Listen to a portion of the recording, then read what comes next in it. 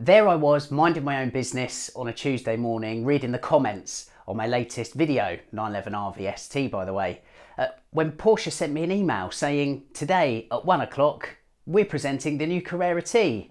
It gave me all the details, and now the embargo's lifted, I'm going to share them with you.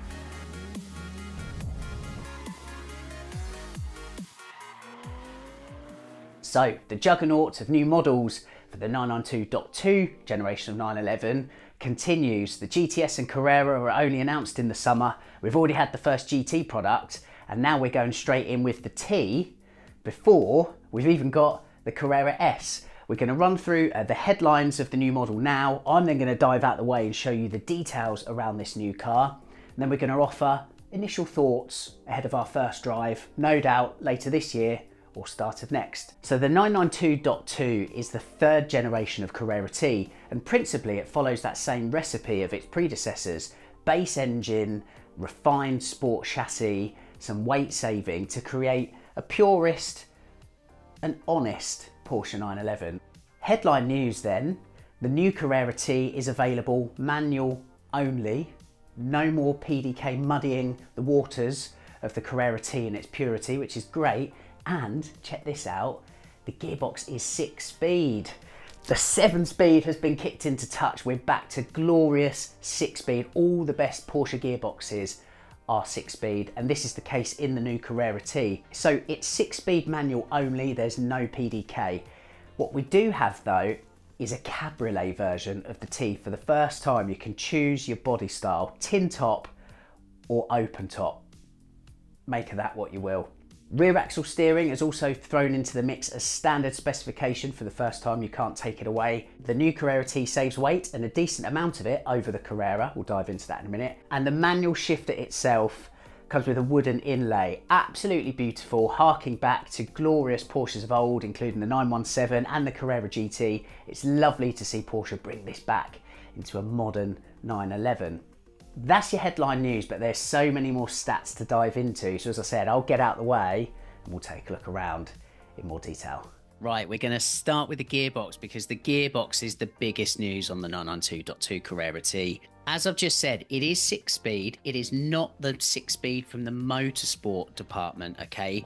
It's the six speed version of the familiar seven speed, which was fitted to uh, non GT products from the previous generation. Now, I've got this information from sources, including the automotive journalist and friend of 9WERKS, Kyle Fortune. It's super interesting, okay? So, Porsche says the six speed manual transmission with dual disc clutch and dual mass flywheel offers a significant weight advantage and not just compared to the PDK. Optimizations resulted in a saving of approximately 1.2 kilos compared to the familiar 7 speed manual transmission on the previous generation. In addition, the mass inertia torque has been significantly reduced and the insulation has been optimized with good tuning of the spring mass damper, so it's quite a rework. The ratio of each gear remains the same as it is on the 911 Carrera. Now, what you'll remember is the current Carrera is 8 speed, not 6, okay? The 8 speed PDK. So basically, the top gear has been locked off.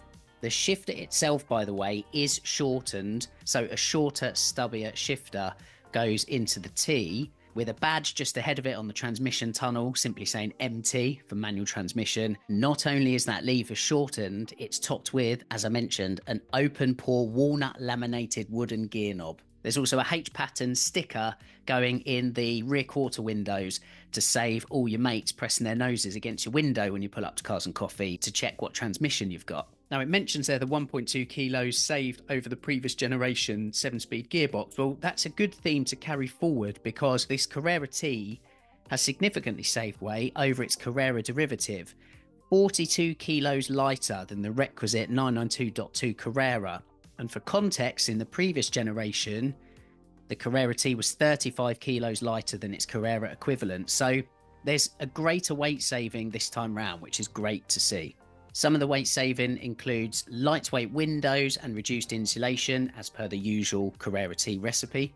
Full fixed back bucket seats, though, they are optional, but with that spec, that's where you can get the lightest configuration of the new Carrera T, which weighs in at 1,478 kilos. Sport Chrono package is standard with a Sport Chrono clock on the dash, The engine, as we know, is the base Carrera, so that's delivering 394 PS and 450 newton meters of torque. With power, obviously, going to the rear axle only, as per the normal Carrera T recipe. As is Sports exhaust, which we're promised sounds particularly fruity with the reduced sound insulation. Sports chassis is also standard spec. This reduces the ride height by 10 millimeters. Other big news is that rear axle steering, which, although you would argue robs the T of some purity, it's actually a really popular option. Rear axle steering, what does it do? Again, low speed agility, high speed stability is the best way to look at it. It's been specifically tuned for the Carrera T here. And twinned with what Porsche describes as more direct steering ratio on the front axle, significantly optimizes handling. Likewise, with the standard PASM sport suspension, that too is tuned specifically to increase agility of the Carrera T.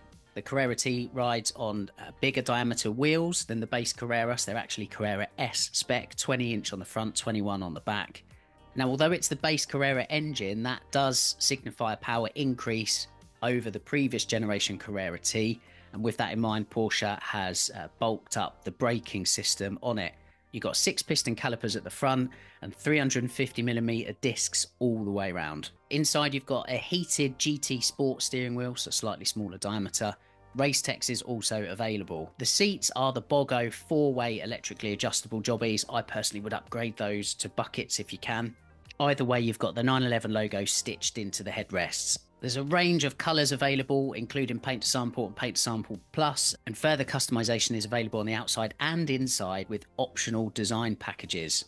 Now, externally, the Carrera T will have some vanadium grey on it. Uh, again, like as usual with a T, like the wing mirror covers, the side script, etc. Uh, however, there is further optional customization available with design packages. For the exterior, that will give you some gentian blue flair, for example, the inlays in the rear lid uh, and the decals, as well as detailing on the side window sticker and inside the wheels as well, which is pretty cool. 0 to 60 is 4.5 seconds, the Cabriolet is 4.7 seconds.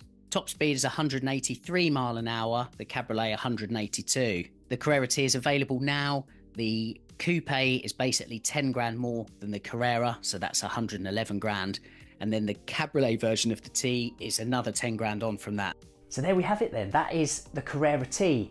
Initial thoughts, well, I think it looks sensational. I love the fact that Porsche has been really quick off the mark in bringing out this uh, focused 992.2 Carrera T. It's actually the first manual 992.2 you can buy away from that GT product, the GT3 that was announced only a couple of weeks ago.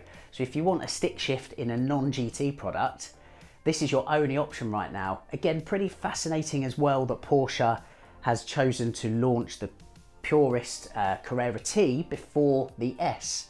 I'm certain an S will be coming, and in fact, in the press release, Porsche sort of hinted at that because it says the Carrera T rides on the Carrera S spec wheels which as I said are slightly wider than the entry-level Carrera. So that's really exciting.